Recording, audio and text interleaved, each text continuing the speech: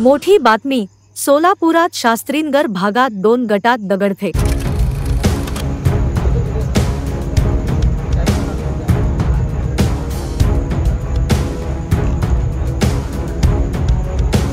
सोलापूर शहरातील शास्त्रीनगर भागात दोन गटात दगडफेक झालेली आहे.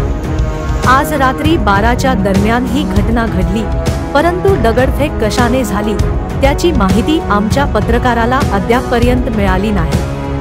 तसेच कोणी माहिती द्यायला तयारही नाही. पोलिसांशी संपर्क केले असताना तपास चालू आहे असे उत्तर मिळाले.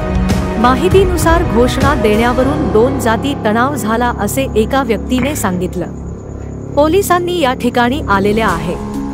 कसून चौकशी सुरू आहे. व्हिडिओ पहा.